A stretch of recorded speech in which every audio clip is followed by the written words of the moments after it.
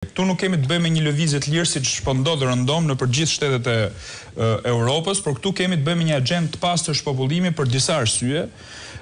Arsyet kryesore janë që po të bisedosh të paktën po t'dalim të rremë, ta shtrijmë fare diskutimin për tokë, po të diskutosh me njerëzit, nuk ka njerëz që mos të kenë dëshirë për të ikur.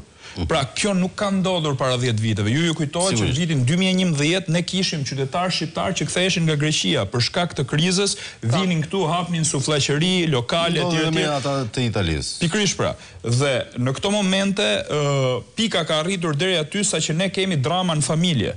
Pra shpopullimi në këto momente po po godet familjen dhe kjo është axhenda, pra shkatërrimi i familjes është axhenda kryesore, por shkatërrimi i familjes futet në një rreth vicioz që shkatërron kombin, sepse ne e dimë shumë mirë që kombin shqiptar e kanë bërë familjet e mëdhaja, shikoni Adem Jasharin në Kosovë, ishte një familje e madhe, ata e mbajnë luftën, nuk e Pesë veta familje. Por nuk e mbajnë luftën familjet që duan të krijuar, të krijojnë këta, familjet e reja, prindi një, prindi dy, se nesër mund të plasë lufta dhe kush do shkojë në kufi për me mbrojtë atdheun. Kështu që goditja e familjes, shkatërrimi i familjes unë mendoj që është pika kryesore për shkatërrimin e kombit shqiptar në këtë rast, që është, që çon pa diskutim dhe në shpopullimin e Shqipërisë. Nxija jetën me gjyqe të gjata, nxija jetën me trafik, grabiti pronën, hidhi gaz lotsjellës nëpër shtëpia, merri dhe trajtoji njerëzit pa dinjitet, blej votën me pesëdhjetë mijë lekë, janë arsyet nga më të ndryshmet, jep premtime dhe mos i mbaj, organizo zgjedhje vetëm një herë në katër vjet, mosorganizimi i referendumeve, janë njëqind mijë gjëra të cilat t'u janë mbledhur dhe sigurisht që njerëzve ju nxihet jeta. Shikoni sot, a ka mundësi një çift i ri për të blerë një shtëpi në kryeqytet, për të nisur jetën e tij? Unë mendoj që është e pamundur. Jo, është e mundur për njëqind e katër vjetësh mesatarja. Patjetër, unë personalisht nuk e kam mundur. Unë vetë banoj me qera, në